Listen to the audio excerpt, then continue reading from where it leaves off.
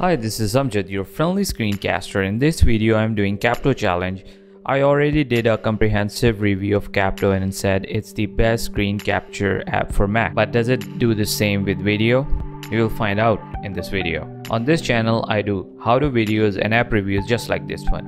If you're new here, consider subscribing. Check out the YouTube description for all the links that I talk about in this video. Let's get started. You can start a quality screen recording with Capto you will have two options either to do a full screen recording or selective area recording. I will go with record full screen for this video. Once you selected your preference, you will get more option to choose from. You can record audio from your computer, capture audio from your microphone. You can choose the mic you will like to use. You can do external mic also. If you like to do a talking head, you can record your webcam. If you want, you can hide or show cursor during recording. I would like to keep this option checked. If you check highlight mouse clicks, if you check the highlight mouse clicks, it will show you each mouse click you made and make it more stand out. At the very last, you can select frame rates. One of the things I love about Capto. It can do 60 frames per second. It's very important if you want buttery smooth videos. If you look at very closely, there are more options that you can customize. You can hide your desktop background or use a custom one. I would like to keep mine as default one. Once everything is set, hit the record and start recording. Once you're done with recording, it will save the video in the Capto. Add this random clip recording for this demonstration purposes. Now let's take a deep dive into the video editing part. Here you have simple video editing interface, nothing overwhelming.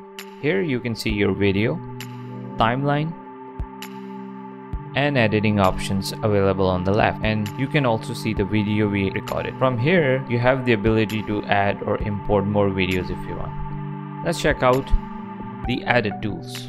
Here you can cut, crop and trim the video. The cut option is to cut a certain part of the video. You can do a very precise cut if you add the timestamp and cut it. Or you can use your mouse to adjust the part you want to cut. You can use the keyboard shortcut delete to cut or delete the unwanted part. The crop options help you to crop your video. You can set a resolution if you know the specific value or do the manual adjustment using your mouse. The trim option will help you to trim the beginning and the end of the video. That's all for the editing tools. Let's jump to the annotation part. I like the annotation features in Capto. If you do a lot of annotations in your video, you will love these features. What can you do? You can add marker, arrow, callouts, text, and my favorite, add a blur. You can adjust all these elements in the timeline as required. Adding annotations is very easy and flexible in Capto. On the audio section, you can change the volume of your video or completely mute it. Add fade in and fade out. That's mostly it. This is the area where Capto really needs to improve to compete with ScreenFlow and Camtasia. For me, one of the major downside is that you can't import audio track meaning you can't add background music or if you capture your audio separately and you want to add that audio then you're out of luck. This is the feature that I've requested the developers to add in the future updates of Capto. Once your masterpiece is ready, you can export your video to .mov or .mp4 and you can select the resolution or the device you want to export for. The overall video quality is quite good, no complaints at all. There are some shortfalls to Capto video editing capabilities. One of them is the inability to add additional audio tracks. Especially for a person like me, I do my audio captures and editing separately, hoping future versions will improve on the audio side.